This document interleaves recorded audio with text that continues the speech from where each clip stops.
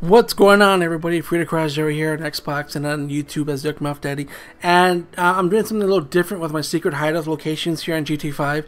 Now, you guys see my my first two and my first one and second one are close to like 10,000 views. I totally um, um, thankful for that. You guys, you guys totally rock for watching my videos. You guys are awesome.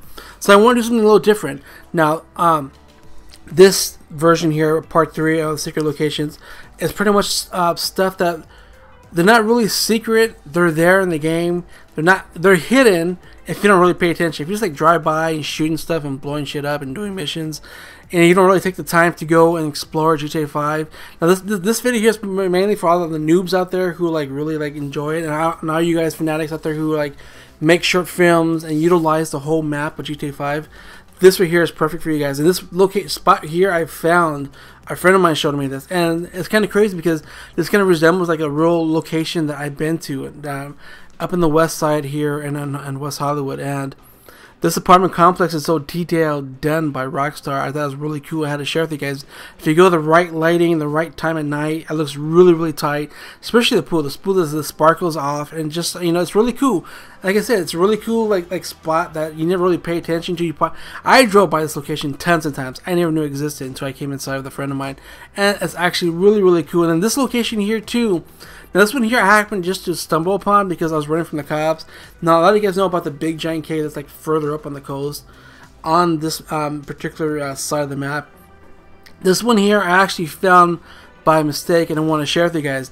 Now, like I said, it's not really like a secret secret location. It's like something that you know just really don't see, and it's just like a little small cave out there that um, that comes in handy, especially if you have like four stars oh, with the police and uh, choppers chasing you.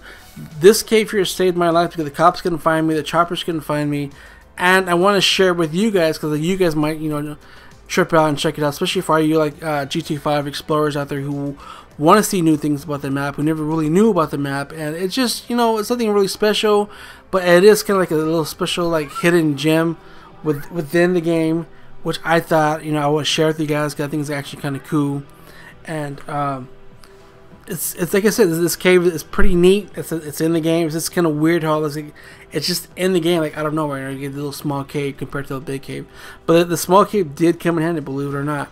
So I wanted to share with you guys because that was loca- a cool location. Now this one location here, um, a friend of mine showed me this. It's, it's the clock tower. Now I never really knew there was a clock tower there. I think I probably did when I did like the the chopper races and the jet races. I never really paid attention to the building. And this clock is an actual working clock, believe it or not. The clock does move. I do stand here and you can see the hands on the clock. They move. So it's, a, it's an actual working clock in the game, which is crazy because, you know, like I said, like little small details that you never really pay attention to until you sm- stop and smell the roses and then boom. A friend of mine showed me this. You can actually get into the clock tower. You get a really cool view of the whole city and it's actually really, really tight and I'm gonna show you guys how to get inside. Now you can you can't get up here for any stairs. You have to take a chopper to land on top of it, and then you just climb the stairs to get into the clock tower. And look at this view. This view is like freaking amazing. It's just like if you're a good sniper, you just come up here and boom, pick people off left and right. You have a really really cool view of uh, this portion of the city and like I said, it's, it's pretty tight to know the fact that the, the clock actually works and it goes corresponds with the actual phone. Now, this Easter egg here, a lot of people still don't know about, believe it or not. Now, I found this a long time ago. I never shared it, but I'm gonna show it to you guys this way. Uh, this time, now this server dude here, or whatever you guys want to call him, uh, he actually exists in real life in Venice Beach. I kid you not. I've seen him there many times. He's been there for years. He's made he makes, uh, I think, a thousand bucks a week. I kid you not. Now, when he's done with working in Venice, I had to, I had to punch him, okay? He's ignoring me, he's staring at me. But he's kind of creepy, you know. Some guy's st standing there like a little st still frame. And uh, he, when he's done with Venice Beach at night, he goes to Third Street Promenade. He makes more money, so he makes about a grand a week. A little fun fact there for you guys out there. Now, this location here, I never knew about. A friend of mine showed me. It's kind of like, I don't know, it's like weird, and it's just. Um, another like little secret location. Not not really secret, but it's kind of like ooh, you know, that's kind of crazy. I never knew it existed. And I drove by this place many times also.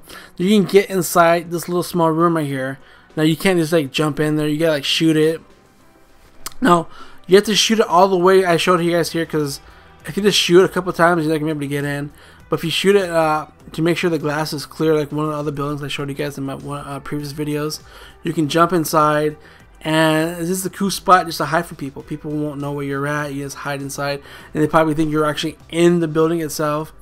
It's it's kind of like you know, like I said, it's not ooh ah, but it is like something really cool, like different that um, I never knew existed till somebody else showed me. Now this spot right here, you can actually get in. My friend took me in there one time, and uh, you can go to like under underground the whole map, and you pretty much just get lost. You're just like driving around forever, and it's like the poltergeist. You know, you go into the wall into like a whole new dimension. And but I forget how to get inside, so I try to get in there by getting it in there. Now there's two water machines and cook machines. Um, when my friend of mine showed me this location, I was able to get stuff from it, like drinks and stuff. But now I guess they fixed it or something. Cause I couldn't get nothing out of there. But you know, it's still a cool location out there. I'll show you guys where it's at in the map, all these locations, and uh, just pretty neat. It's a little secret hidden gem location out there. Now this location here, I never really paid attention to. I never knew existed. Now I drove down this road tons of times, like oh thousands of times, races, just driving, doing missions, yada yada, and um, this little small location, a friend of mine also showed me, and at and during the daytime doesn't really look like nothing, but at night it looks really neat. It's like a little, you know, porta potties. It's it's kind of crazy the details that Rockstar put into this game, which I thought are really cool. One of the reasons why I bought this, bought this game is because the whole details, and you can do a lot with, with this um, GTA 5. You can do stories, you can do, uh, parodies, you can do so much with the whole details. It's like Sims on crack, pretty much. And there's like another little hidden spot. I'm pretty sure a lot of you guys probably pass this location as well. And um, this, like I said, this video is, is I did is for all you guys out there who are, new and people who didn't really pay attention. And now you're like people in GT5 who want to know more about the map and little um, hidden spots. And this is actually a hidden spot because I never seen this thing. And the game's been out for a year. And a lot of these locations I never knew existed. Now I play this game constantly a lot. I do a lot of races. I, I do a lot of multiplayer. I, I, mean, it's just non-stop.